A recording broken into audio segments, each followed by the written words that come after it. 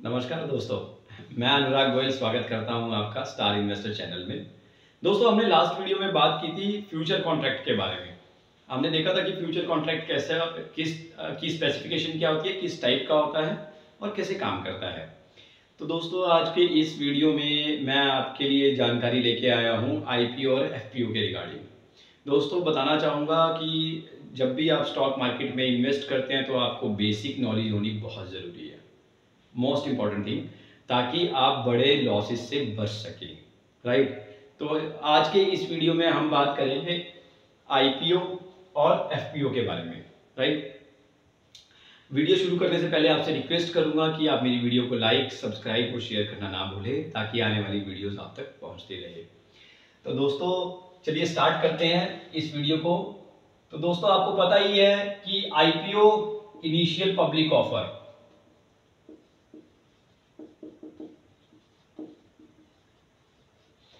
FPO follow public offer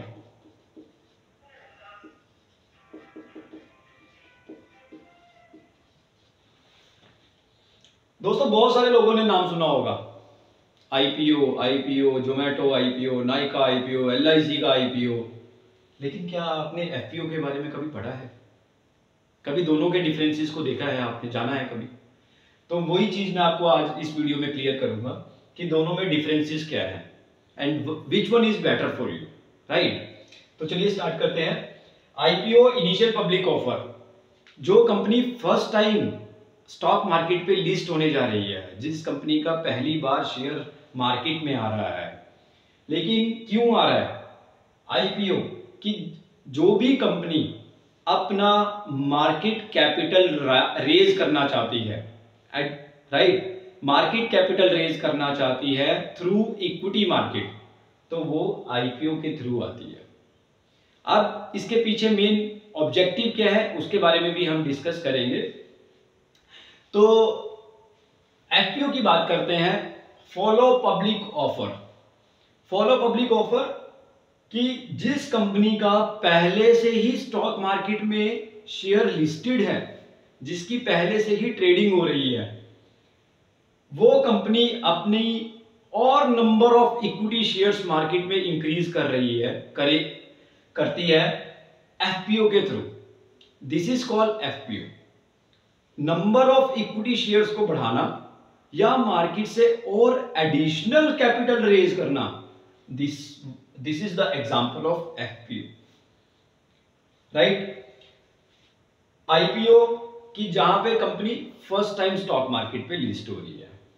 अब दो तरह के आईपीओ और दो तरह के एफपीओ मार्केट में आते हैं।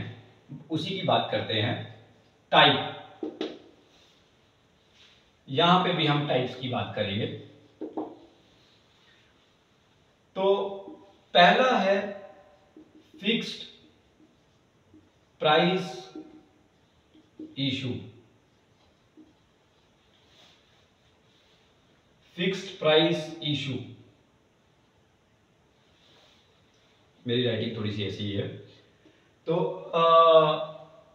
फिक्स प्राइस इशू सेकंड जो है बुक बिल्डिंग इशू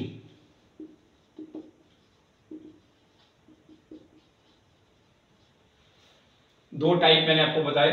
एफपीओ की बात करते हैं। पहला type dilutive FPO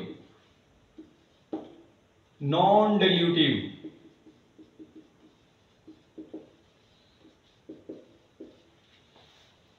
अब मैं आपको बताता हूँ फिक्स प्राइस इशू और बुक बिल्डिंग इशू में क्या फ़र्क है। डिल्यूटिव और नॉन डिल्यूटिव में क्या फ़र्क है?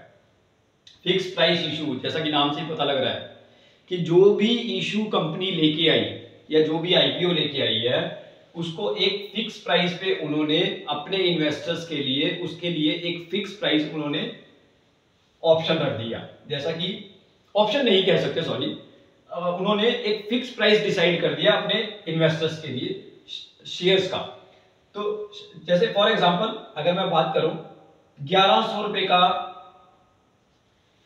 इशू आया। तो उन्होंने एक फिक्स प्राइस रख दिया। यहाँ पे अब आपको ज़्यादा क्लियर पता लगेगा बुक बिल्डिंग इशू क्या होते हैं? जहाँ पे कि कंपनी अपने इन्वेस्टर्स को ऑप्शन दे रही है।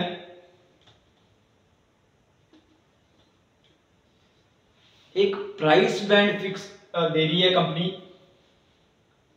1100 1110 so this. Is the difference of this is these are the two types of IPO initial public offer fix price issue और बुक बिल्डिंग इशू मोस्टली जो आपको आईपीओ मार्केट में मिलेंगे, वो बुक बिल्डिंग इशू रहते हैं मोस्टली जहाँ पर की इन्वेस्टर्स के पास ऑप्शन रहती है या चॉइस होती है कि वो बिटवीन प्राइस रेंज के कहीं पे भी अपना बिल्डिंग कर सकते हैं। राइट चलिए दोस्तों, अब बात करते हैं डिल्यूटिव एफपीओ की और नॉन डिल्यूटिव एफपीओ की। सेम वे डिल्यूटिव एफपीओ में फिक्स प्राइस नॉन डिल्यूटिव में जो है price range same same way तो वही टाइप दोनों, सिर्फ़ फ़र्क जो है नाम का ओनली अगर आप सुनेंगे मार्केट में कभी डिल्यूटिव एफपीओ आ रहा है तो आप कंफ्यूज मत होइए। फिक्स प्राइस दे रही है कंपनी अपने शेयर का। नॉन डिल्यूटिव एफपीओ आ रहा है तो कंफ्यूज नहीं होना है। प्राइस रेंज के साथ आ रहा है राइट एक प्राइस रेंज दे देगी कंपनी उस प्राइस रेंज में आप कहीं पे भी पैसा इन्वेस्ट कर सकते हैं। किसी भी कि, किसी भी प्राइस पे आप बिडिंग कर सकते हैं राइट नाउ जो मैं अब जो हमारी नेक्स्ट डिस्कशन होने वाली है वो है की डिफरेंसेस क्या है?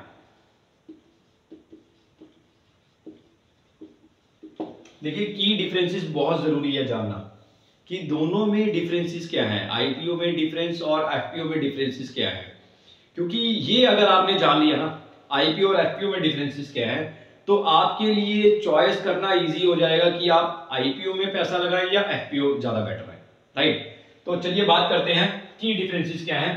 तो सबसे पहला जो की डिफरेंस है, वो है objective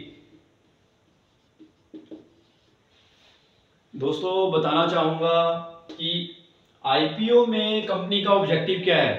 Company first time stock exchange पे लिस्ट हो रही है राइट कंपनी मार्केट से अप, अप, मार्केट में से अपना कैपिटल रेज करना चाहती है अपने प्रोजेक्ट्स को कंप्लीट करने के लिए कंपनी को पैसा चाहिए तो वो अपना शेयर मार्केट में उतार के अपने मार्केट में पब्लिक से पैसा इकट्ठा करती है। तो यहाँ पे ऑब्जेक्टिव हुआ कि कंपनी अपना कैपिटल रेज करना चाहती है नंबर एक। नंबर दो कि कंपनी अपने मार्केट कैप कैप को बढ़ाना चाहती है, या फिर, राइट? एफपीओ में कंपनी का ऑब्जेक्टिव क्या हो सकता है? कंपनी तो ऑलरेडी लिस्टेड है स्टॉक एक्सचेंज पे। तो यहाँ पर दो चीज़ें इंटेंशन हो सकती है कंपनी की। पहली इंटेंशन ये हो सकती है कि कंपनी एक तो रेस एडिशनल कैपिटल रेज करना चाहती है नंबर दो। दूसरा इंटेंशन या ऑब्जेक्टिव एफपीओ में कंपनी का ये हो सकता है कि कंपनी अपने हो सकता है डेट क्लियर करने के लिए एफपीओ लेके आ रही हो। बहुत इंपॉर्टेंट है दोस्तों, बहुत इंपॉर्टेंट है, क्योंकि बहुत सारी कंपनियाँ हैं जो आज की डेट में जिनका डेट जो है, वो कंपनी के साइज़ से बहुत ज़्यादा बड़ा है। तो ये आपको ध्यान रखना है। इसीलिए मैं की डिफरेंसेस की बात कर रहा हूँ इस वीडियो में। तो आपको देखना है कि कंपनी के डेट्स कितने हैं जब आप एफपीओ में पैसा लगा रहे हैं। कंपनी का बैलेंस शीट क्या बोलता है? राइट अब बात करते हैं परफॉर्मेंस की।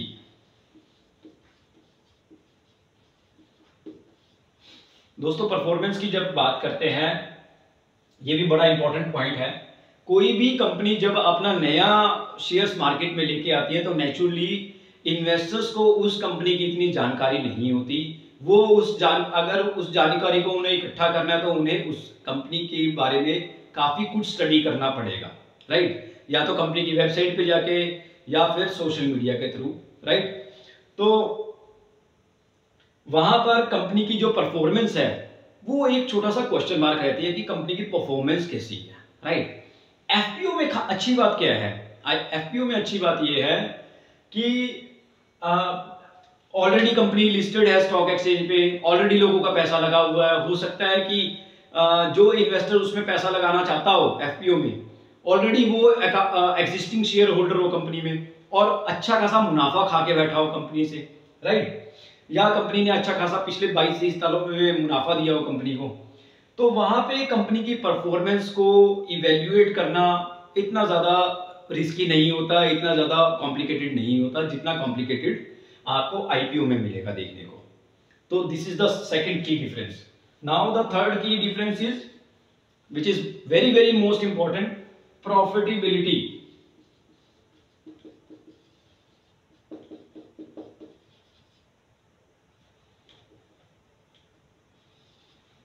profitability बहुत इंपॉर्टेंट चीज़ है।